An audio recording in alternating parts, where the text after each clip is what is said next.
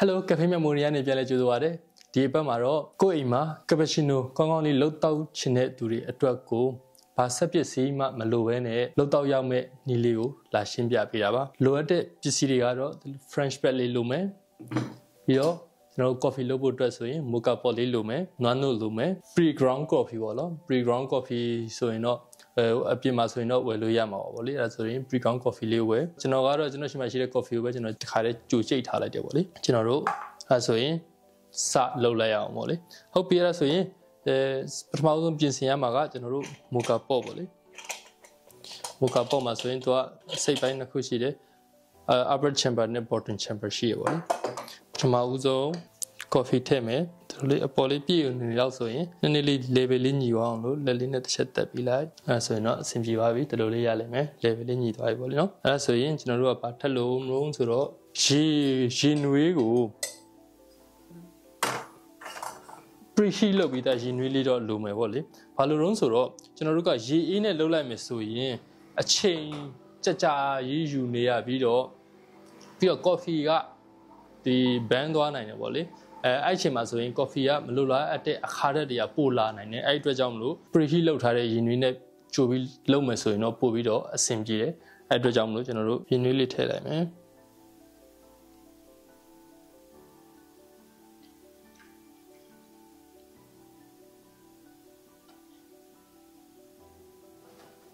ခွက်တီးပါပဲသူက ဒီမှာဆိုရင်ကျွန်တော်တို့ဒီအထိတ်လေးမှာဒီဥစ္စာလေးရှိရပေါ့လေလေဝင်လေထွက်ပေါက်လေးရှိတယ်အဲ့နားလေးကိုမကြော်သွားစေနဲ့ပေါ့လေအဲ့ရဲ့အောက်မေးလေးနားဆိုရင်အဆင်ပြေပြီအဲ့ဆိုရင်ကျွန်တော်တို့ coffee စပြီးတော့လုပ်လို့ရပြီ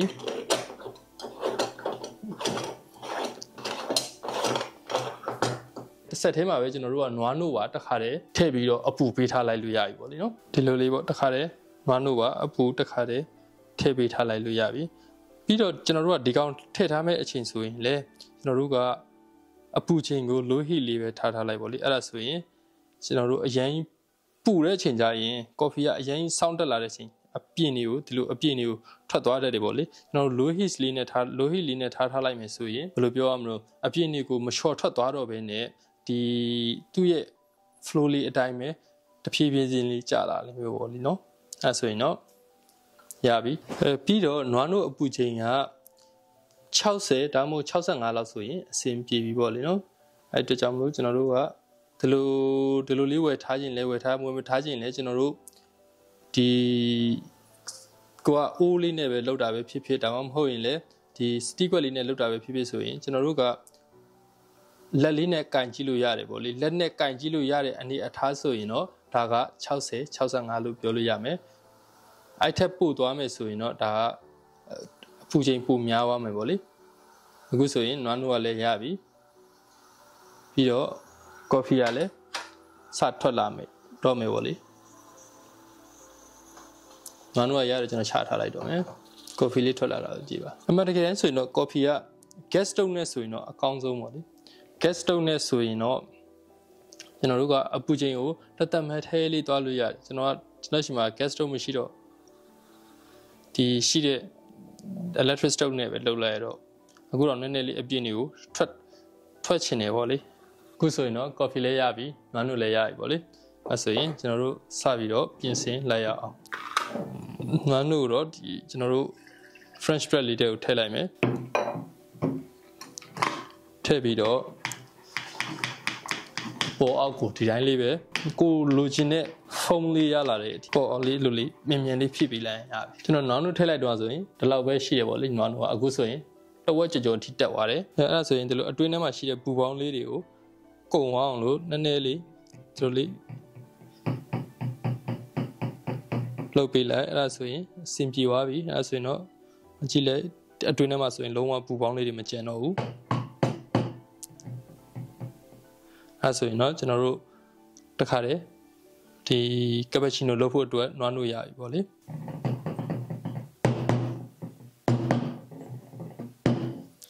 အဲဆိုရင်ကပချီနိုထည့်ဖို့ထွက်ခွက်လေးတွေကို coffee ထည့်လိုက်မယ် coffee ကတော့အနံလေးကမှုေးနေပါကျွန်တော်တို့ဒီလို picture ရှိရင်တော့ picture နဲ့သုံးပါ picture မရှိဘူးဆိုလည်းဒီကောင်လေးနဲ့ပဲလက်တေးအဆွဲလို့ရနိုင်တယ်ပေါ့လေ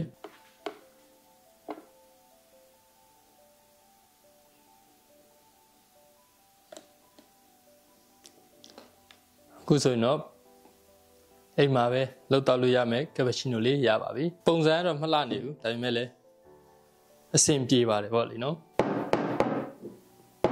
ကပချီနိုလေးရပြီပေါ့လေနော်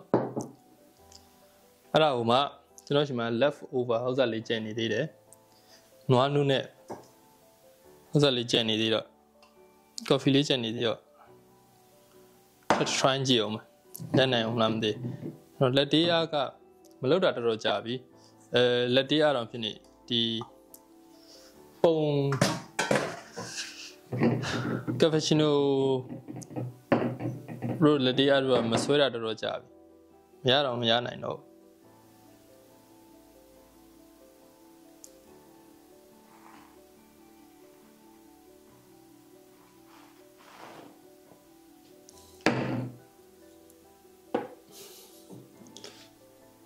ဒါပါပဲ